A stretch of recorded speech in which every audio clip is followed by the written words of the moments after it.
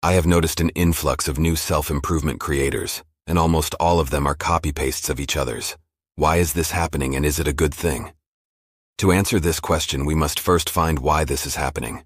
From what I have seen, the vast majority of these channels are Hamza clones, and I believe this is due to his recent videos promoting the idea of becoming a YouTuber similar to him. In fact, many of these YouTubers literally copy his look, and even his unsettling pauses and way of speaking.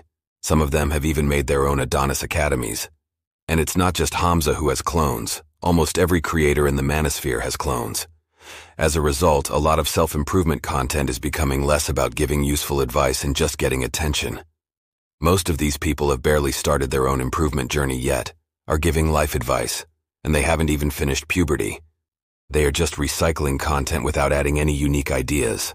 In fact, a self-improvement content creator who I want name literally copied one of my videos and got 100s of thousands of views. But is this a bad thing? I would argue no. The reason is twofold. For the prepubescent Hamza clones there, Content is still unique because it's their perspective and that perspective may be more helpful to someone than Hamza's or big creators. As this person is more like them, it's the idea of being a synthesizer. People can learn more from someone slightly ahead of them than they can from the best, as these people have more in common with them. And this shows, the Hamza clones aren't bad as they are able to benefit certain audiences more than Hamza could.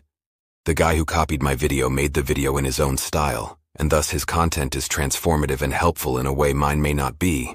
And at the end of the day, these people by making these videos are themselves improving.